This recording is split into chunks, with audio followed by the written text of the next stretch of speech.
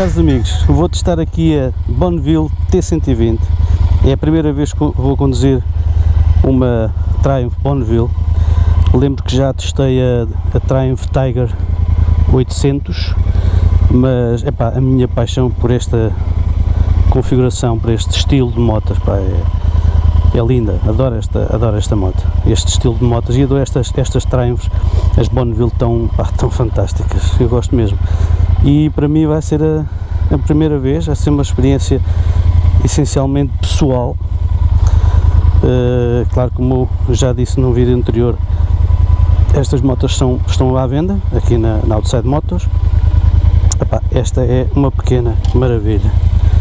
Eu adoro isto. Carregadinha de extras, pá, mas eu nem vos vou falar dos extras porque metade deles eu nem sei, nem vos sei explicar. Sei que estes escapes são, são especiais, sei que há aqui inúmeras tampinhas e personalizações que também são uh, exclusivas, são extras. Epá! E que feeling de moto clássica! Olha, eu chego bem ao chão, hein? atenção que esta moto para, para a minha altura é perfeito. Os dois pés ao chão, maravilha é espelhos, espelhos estilo clássico, não é? redondinhos, fazem, fazem lembrar a, a Bandit. Isto para regular tem que se rodar ligeiramente. Acho que assim está bem. Epá, fogo, que maravilha! E este barulho é tão bom. Opa, aqui o, o, a moto só tem 6 mil km, atenção. Aqui nos, nos mostradores, temos aqui este I, deve ser para, para mudar a informação. Portanto, o que é que muda? Ah, muda ali trip 1, trip 2, uh, não sei o que é, também não sei o que é. Pronto, tem muita coisa, mas eu não sei, metade delas não sei o que é. Punhos aquecidos, pá, maravilha. Olha, mas sabem o que é que eu quero? Quero ir andar nela.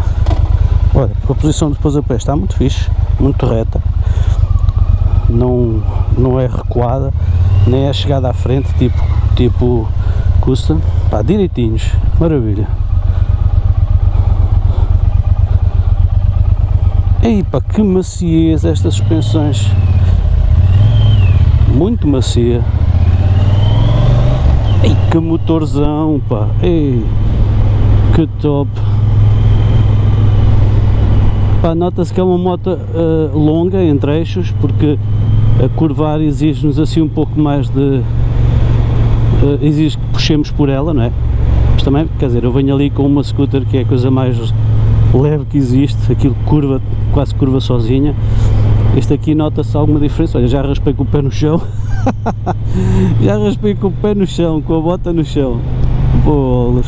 Bem, epá, é, é como se tivesse andado, sei lá, 30 anos para trás no tempo, em termos de concepção de moto, de, de, de estilo, até mesmo a posição de condução é, é mesmo a, a moto clássica, no fundo é isso, nós não vamos inclinados para a frente, temos aqui a, a, a posição do, do, guiador muito próxima de nós, não é, uma, não é uma posição desportiva nem acutilante, nada disso.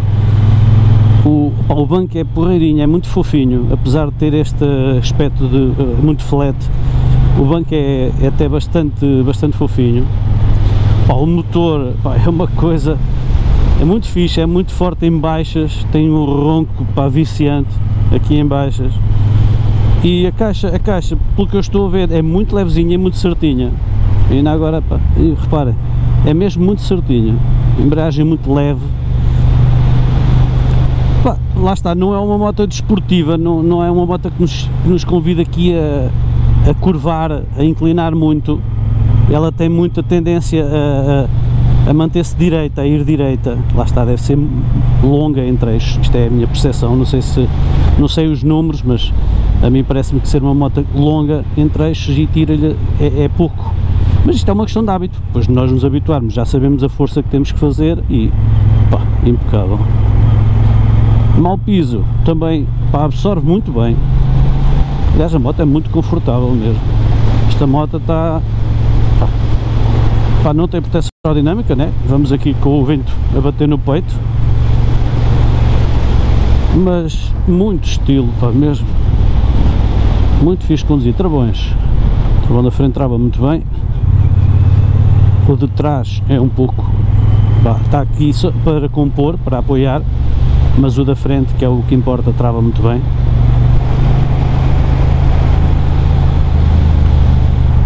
Sim senhor, pá, que maravilha de moto.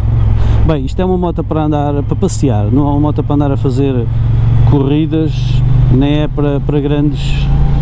Uh, para, para conduzir de uma forma desportiva. É uma moto para passear, para toda ela nos instiga a, a conduzir calmamente e a passear, a usufruir da, da, da paisagem, a ouvir este, este ronco fantástico. Até vou abrir um bocado mais o capacete. Epá, é muito bom. Epá, e o comportamento do motor é muito linear.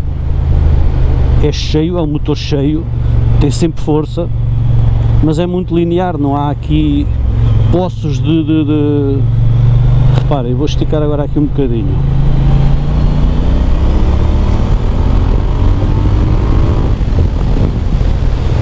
Bolas.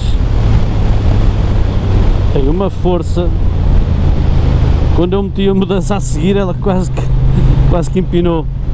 Muita força mesmo. É uma moto mesmo para, para nós conduzirmos uh, calmamente, descontraídos, mas epá, precisamos de motor, ele está cá. E rodamos punho e ela vai. Mas vai mesmo, é quase uma resposta quase instantânea. Pá, gosto muito. Pá, esta conta aqui com alguns extras, aliás com bastantes extras. Temos aqui acho que pelas contas do Jerónimo 3.600 euros em extras, uma coisa assim que tornam esta moto quase única, não é? Pá, gosto muito. Olha, então isto é impressão minha, está tudo no meio da estrada. Tarde. Vocês é que estão bem, deixem-se estar, hein? eu é que estou mal. É pá, que maravilha de moto, fogo. aquilo que eu, as minhas expectativas uh, estão as expectativas que eu tinha em relação a esta moto estão ao nível daquilo que eu que eu pensava Pá, melhor ainda porque a moto é super confortável em maus pisos. Bem, eu também penso, penso que isto é jante, eu penso que é jante 19 na frente. Isto não é jante 17 na traseira eu não sei, mas depois eu ponho aí. Mas acho que isto é gente 19 na frente, Epá, isso faz logo, faz logo a diferença, não é? Esta moto vocês vão aí num estradão de, de uma reta com estrada em mau piso e a gente 19 eh, filtra muito melhor e, e disfarça muito melhor esses... Não, olha aí, reparem, maravilha. Não há aqui cacetadas bruscas, não há aqui nada. Bem, aproveito para vos mostrar aqui estas vistas sobre a cidade. Eu não sei se tenho algum vídeo a mostrar isto aqui. Oh, está ali uns arbustos a tapar a visibilidade de bolas. Portanto, aproveitamos aqui neste bocadinho desta obra. É para chegar com os pés ao chão é uma maravilha. Deixa-me dar aqui um, um walk around à moto, já agora. Com esta paisagem como fundo. É pá, que coisa mal linda.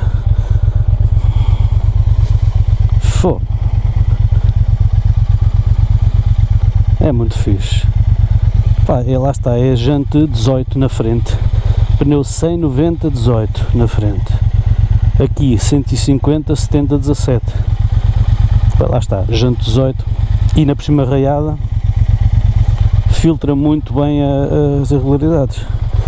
Também estas forquilhas são, são bem, bem robustas banco tem um aspecto lindo pá, e, é, e é confortável, por incrível que pareça ele é bastante confortável. Mas isto de chegar bem ao chão, para mim é um luxo. É mesmo um luxo. pois é, Rio Mondego, ali embaixo é a praia fluvial do Rebolinho, Rebolinho, ou não, Rebolim, Rebolim, lá adiante a ponte Rainha Santa e lá ao fundo Ponte Santa Clara e Ponte do Açude. Ali são os polos na universidade. Aí dá para ver o estádio daqui também. Muito fixe, muito fixe. Pá, vamos embora. Isto já está na reserva. Isto tem ali road, se calhar tem, tem modos de condução. Não sei se se muda com esta patilha aqui, se calhar é. É, road, rain road. Está no road, está bem. Ah, espetacular. Tem, está com umas vistas muito fixas isto aqui.